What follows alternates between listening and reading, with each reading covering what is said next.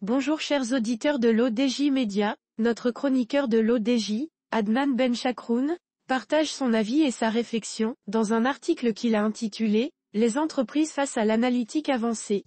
Qu'on écoutera ensemble dans ce podcast. Notre ingénieur ouvre sa réflexion de la manière suivante. Le big data et l'analytique avancée offrent aux entreprises des opportunités sans précédent pour innover, optimiser leurs opérations et anticiper les besoins futurs.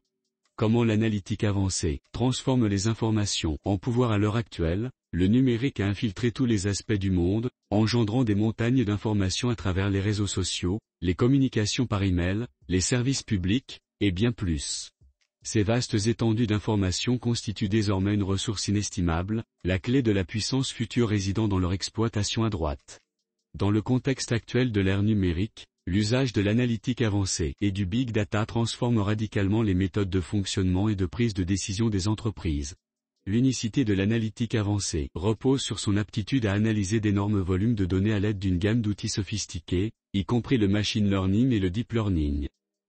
Ces technologies permettent d'obtenir des insights et des connaissances précieuses à partir de données, qu'elles soient structurées ou non, surpassant largement les capacités des approches analytiques traditionnelles. L'importance du big data se manifeste clairement à travers des exemples tels que l'utilisation par les opérateurs télécoms de ces technologies pour anticiper la croissance du trafic réseau et ajuster en conséquence le déploiement de leurs infrastructures. Cela illustre le super pouvoir de prévision offert par l'analytique avancée. Les applications de l'analytique avancée sont extrêmement variées selon les secteurs.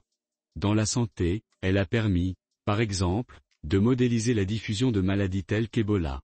Dans le domaine des transports, l'analyse des données de déplacement aide à améliorer l'efficacité des services de transport public. Néanmoins, l'intégration de l'analytique avancée et du big data représente des défis, notamment en termes de compétences requises et de l'infrastructure technologique nécessaire. Élaborer une stratégie efficace autour des données exige un engagement ferme de la direction, une infrastructure technologique solide, et une équipe multidisciplinaire pour exploiter au maximum le potentiel des données. L'exploitation du big data et de l'analytique avancée ouvre des portes à des opportunités d'innovation, d'optimisation des opérations et de prévision des besoins futurs pour les entreprises comme jamais auparavant. Les organisations, qui réussissent à intégrer ces outils dans leur stratégie, peuvent non seulement s'adapter mais également prospérer dans un marché de plus en plus complexe et compétitif. Rédigé par Adnan Ben Chakroun.